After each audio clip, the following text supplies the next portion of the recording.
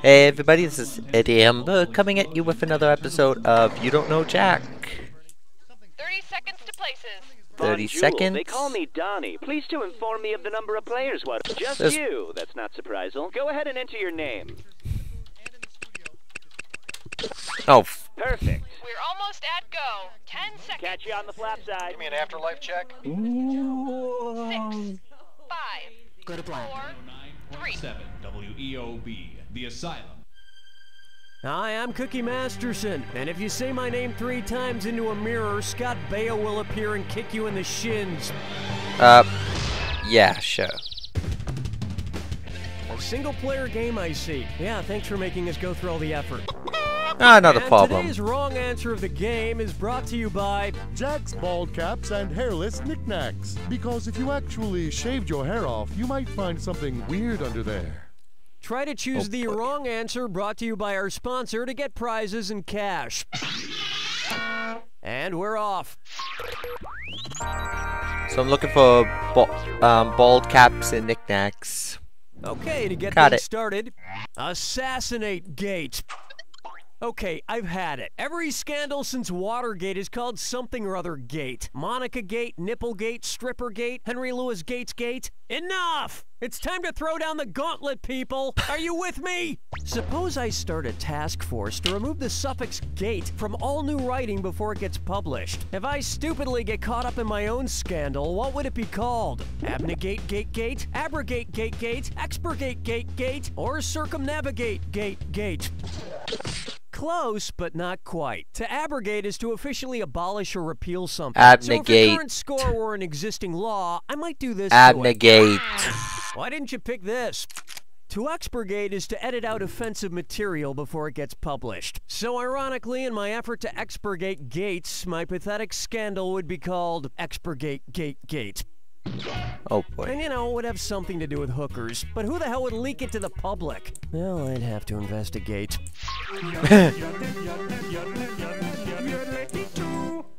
Let's Nothing ever interesting happened to the MD. numbers yet. If Dr. Frankenstein's monster had spoken very casually, how might he have addressed the doctor with his first words? Theo, what's up? Hey, Victor, nice laugh. The doctor from Mary Shelley's classic novel was Is named Victor. Victor Frankenstein. Another little known fact Bram Stoker's famous vampire is actually named Count Derek It's probably- Dracula. Um, the brain was probably the wrong answer. Here's a good one. Because they both had Sin City. to have do with the head. And oh, for the love of. I'm going to read off seven words, and for each one, tell me if it's a word from the Garden of Eden story in the Bible, a Las Vegas nightclub, or both. If it's from the Garden of Eden story, press one. If it's a Vegas club, press two. Ah, you're familiar with the this or that. Perfect. Pure. Eve. Wait, what? Flush. Naked. Sweat. Rain. Oh, fake. I took some of Adam's ribs to perform general ribbing on you. They say Vegas is Sin City, but I think it'd be difficult for the devil to tempt somebody with an apple in Vegas. He'd have to wait in line for an hour to get it off the buffet. Here's one I like to call Misters of the Universe.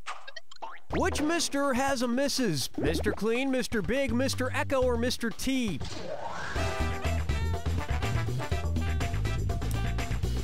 Mr. T? I pity you, fool! No, wait, no, I don't. it's so obvious. Although the others are bachelors, Sex in the City's Mr. Big has been married a couple of times, most recently to Carrie Bradshaw. Uh, I was thinking. Also married was Mr. Rogers. You never saw his wife on the show, but he always insisted that we just missed her.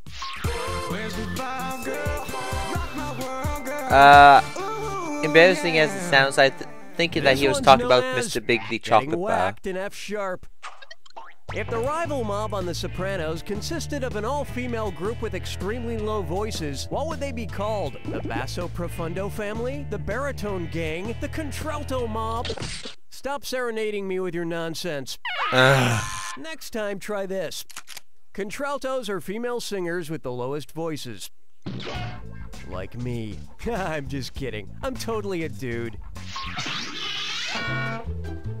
That's the end of a thrilling first round, where you pretty much crapped your pants. Yeah. Don't forget, all the questions in round two are worth double. All right. Oh, you wait, let's get going. Because Mr. Clean was, well, bald. Here's one for you. My housewife is a fake. I've been watching these Real Housewives shows on Bravo. I've noticed something about the opening credits of these shows, though. The cast is always holding some kind of fruit. The Real Housewives of Orange County are holding oranges. The Real Housewives of New York are holding apples. The Atlanta Housewives are holding peaches. But during the opening credits of The Real Housewives of New Jersey, the housewives aren't holding anything. WTF? Considering the state fruit of New Jersey, what should they be holding? Bananas and leopard print tops, strawberries and garbage bags, kiwis and Sopranos DVDs, or blueberries and spray tan? Um. Maybe there's a reason. Banano! Ay. Here's where the money is. New Jersey's state fruit is the blueberry. And their state animal is the Snooki.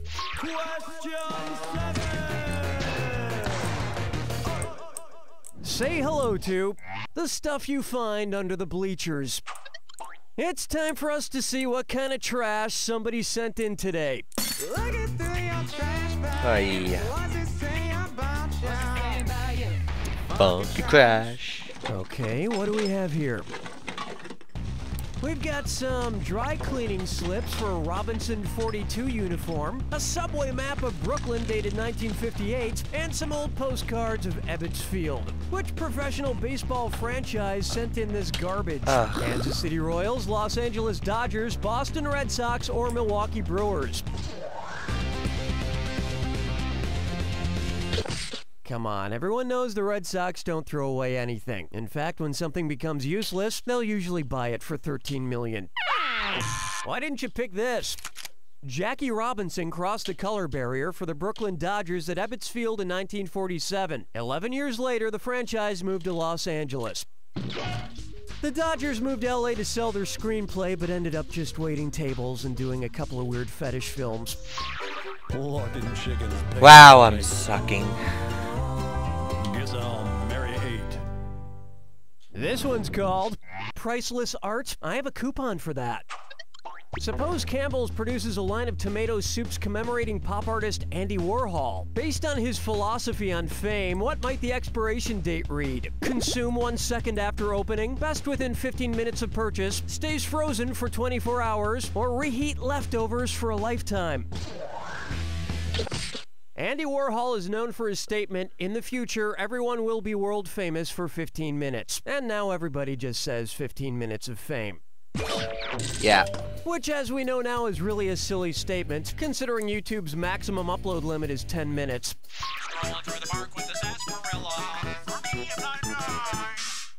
I call this one Hmm. How long is this Hood. video? If the blood I think it's about took litmus tests, their 13 pH minutes. levels matched their colors, where would the Crips end up on the scale? Highly alkaline, motherfucker. Highly acidic, motherfucker. Neutral, motherfucker. Or greasy, motherfucker. This will burn a small hole through your I didn't even hear the question. The uh, Here's what a right answer looks like. alkaline. Alkaline materials turn litmus paper blue, and the Crips color is blue. I actually learned some complicated gang hand symbols. Ow! My fingers! Motherfucker! Hold me, never let me go.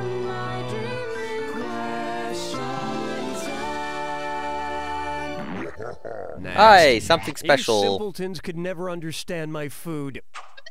As a deep and complex individual, I prefer to eat food that reflects that. Which of these complex foods contains complex sugars? An orange painting its feelings? A forlorn glass of milk? Pasta reading poetry about death? Or a chocolate bar contemplating existence?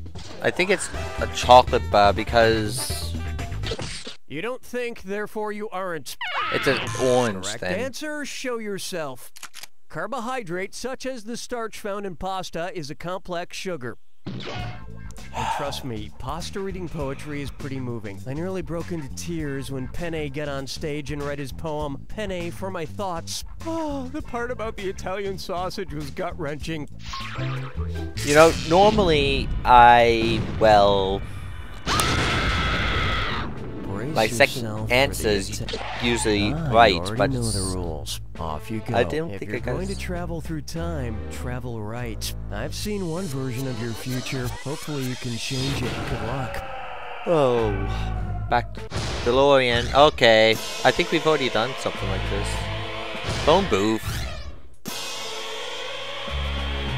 Hot tub. T uh, well, hot tub.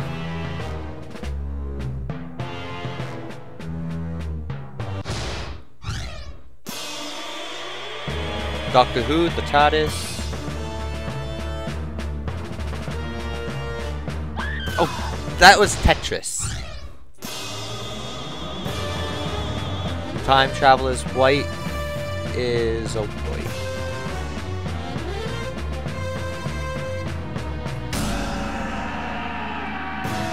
Star Trek Block Hole.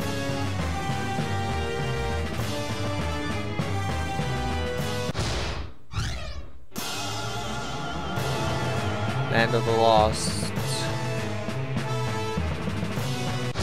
Space Time Vortex.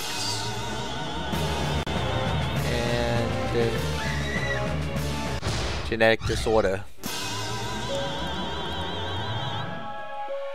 Hey, that was actually a quick. There it is! And I'm in the positive. Not bad, not great, but not bad. I actually scribbled down a number on this piece of paper before the game started, just guessing what I thought you'd get. Let's see if I was close. Hmm. Apparently, I just doodled a picture of a dog peeing on a laser gun. That's weird. What? Nice work, folks. Donnie, what's going on? All right, give me the hey sign if you're interested in more playage. And until next time, this is Eddie Ember signing out.